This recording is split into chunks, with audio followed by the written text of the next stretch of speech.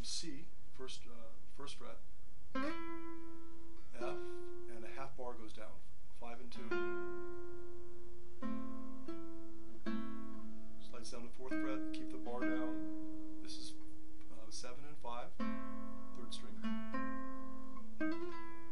This is on the four three. This is four five six. Here's the C. We bar on four for the G sharp in the bass.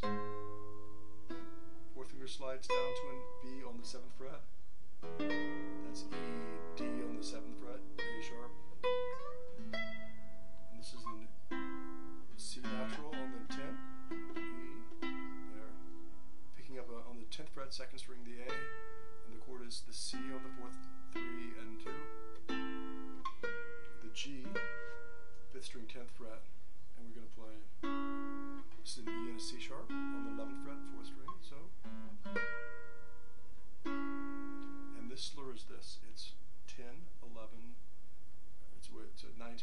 That's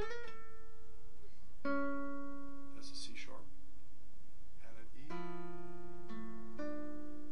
F, D, A, E, A minor 7 chord, and this is the slur here. Pull the first finger down here, pull up with 4. The next finger pull plays to open B.